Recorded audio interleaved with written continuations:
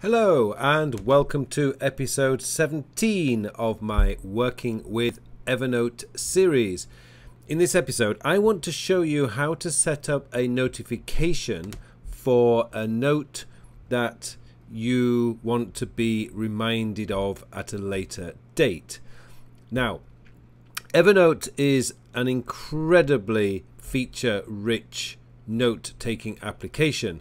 As you probably already know if you follow if you've been following this series you would have seen that there are so many things that you can do in Evernote that in theory it could actually run all your projects it could run all your tasks it can run so many things. And I think even I'm guilty of using Evernote in such a basic way when it has so many features. But here is one feature that I do occasionally use from time to time. And this is what we call the notifications or the notifications um, um, feature, if you like, in Evernote. And basically, what it does is it will send you a reminder either in app or you could arrange for it to come to you by email uh, to do something. So here I have uh, what I call my notifications test um, application uh, sorry, notification test note. And I've created a number of checklists here. So as you can see from here, I've got these as checklists, so I can just check, check them off as and when I do them, which would be really cool if you wanted to use this as a checklist. And by the way, to set up a checklist, if I haven't already covered that, is all you do is you can create your. Um, well, let me just go down here and I'll show you. Um, make bed. Um, wash the dishes, um, wipe kitchen, uh, kitchen surfaces. Okay, so I have three things in this list. All I can do is I can highlight it here and I can just click on the the tick button here and it creates a checklist. Alternatively, I can actually just click it now straight away and then I can do um, a clean bathroom etc. So you see, you get the idea. Anyway, let's say that I have decided that uh, because over here in Seoul it is so hot and humid outside, 35 degrees Celsius with about an 88% humidity rate. It is horrible outside. So most of the weekend we most families would like to stay inside or go to the movie theater somewhere where it is cool.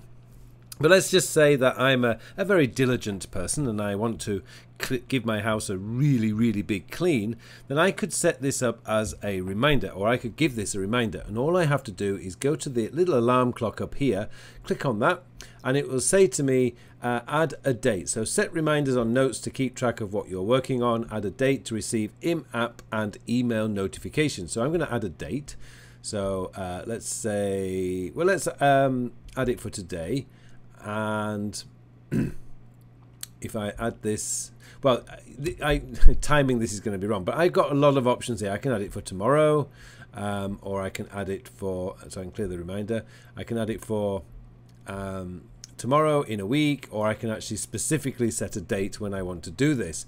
Um, once you've set a date on this, uh, what you'll find is you've got a, the, the alarm clock has now become blue and up here you can uh, you have like a a num reminders and then the number which in this case I've got one reminder up here. So I can actually uh, tick it off by clicking it here. And that ticks off the reminder and it will disappear in about 24 hours time. So there's how you can actually use Evernote as a a to-do list if you like um, or you could just use it to, to remind you to get on with a checklist. Another really good use of Evernote, and it's something that if I traveled more often, I travel about once or twice a year, so I don't feel necessarily I need this function. But for those of you who do a lot of business trips or traveling a lot, you could create a list of the things that you need to take with you and set up a notification for this note to come up uh, maybe one day before you travel. So you've got your travel checklist, so you know what things to put in your suitcase and what things to get make sure are ready. So there's a lot of uses that you can uh, use this notifications functionality in Evernote. Anyway, I hope this has been very useful for you. Please, please don't forget to subscribe to this channel. And for all of the you guys out there who are interested in any kind of productivity, that's email, to-do lists, getting things done, Evernote, almost any kind of application you can think of, please subscribe to Jay Miller's Productivity in Tech Facebook group. It's an amazing group. There's some wonderful people there, and the group is growing and everybody on there is here and there to help you to get more productive and to get much more important things to do. Done. To get more important things done. Okay that's it for today. I hope you all have an incredibly productive week and i'll see you in the next episode